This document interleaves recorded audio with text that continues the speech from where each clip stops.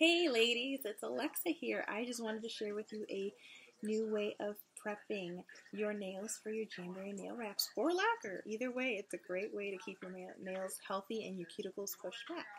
So today we are going to be talking about two new products in the spring summer catalog. By the way, if you don't have one yet and you want one, please contact me. I'd be happy to send you one.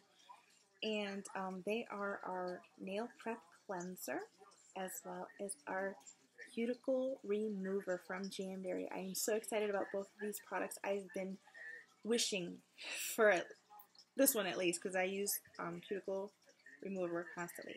So what you're going to want to do is push back your cuticles like normal. So take your cuticle pusher. And um, one of the things that I want to talk about and emphasize here is that when you push your cuticles back, you're not just pushing back this part. You want to push back the sides too because those sides can get also um, get that invisible cuticle. So what you're going to want to do is push back.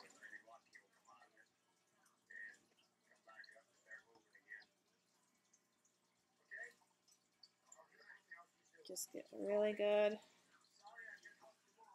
Now what you're going to do is take your cuticle remover, open that baby up, give it a twist,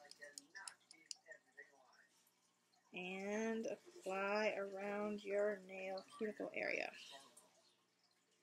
Now, a lot of people say, well, I push back my cuticles. Isn't that enough? And, you know, for some people it may be enough, but for people like me, it's not. You generally need to actually remove that invisible cuticle because I have it, and when I have it, it still gets oil underneath the wrap. So you want to do everything you can to make sure you have a great application and that means removing those invisible cuticles. And on top of that, it also makes your nails a little bit more healthy too to keep them well maintained. So you're going to want to keep this um, remover on your nails. I usually do the whole hand at the same time, but for demonstration purposes, I'm just doing the one finger. For up to two to three minutes. You don't want to go any longer than that. Um, and what you're going to need is either a wooden uh, orange stick slash cuticle pusher or a cuticle spoon that you can get from any place like Sally's or any other beauty shop. Now, what you're going to want to do is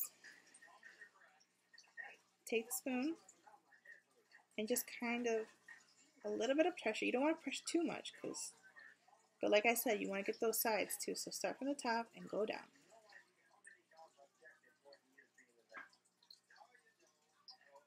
And what you will see is a little bit of Mm, it's basically your invisible cuticle.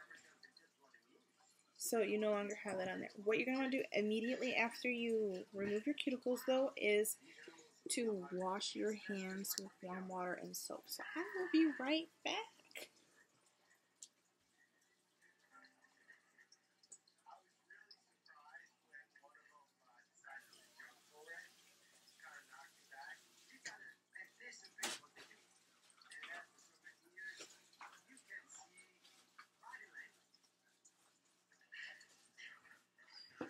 So I am back, my lovelies, and the cuticle has been removed, and it is now ready to use some of our prep solution.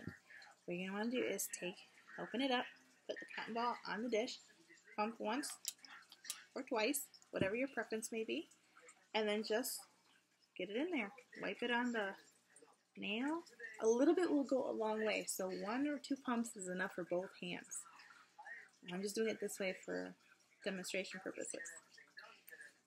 So as you can see, nice and cleansed, but I still like to use a swab of alcohol afterwards just to ensure that I do have all chemicals and oils removed from my fingers. I really want a good lasting wrap. So there you go. So,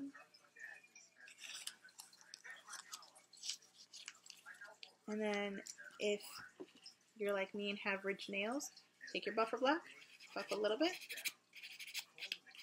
You don't need to do a lot of buffing, just a quick one, two, three, four. And then I like to do it again just one more time. Again, I don't want any oils on my nails before I apply my wraps. So I am sure you have a great consultant so if you have any questions, please feel free to ask her. However, if you don't have a consultant, please feel free to contact me, and I'd be happy to answer all your questions and check out my website below so you can check out all of our designs and awesome hand and nail care products.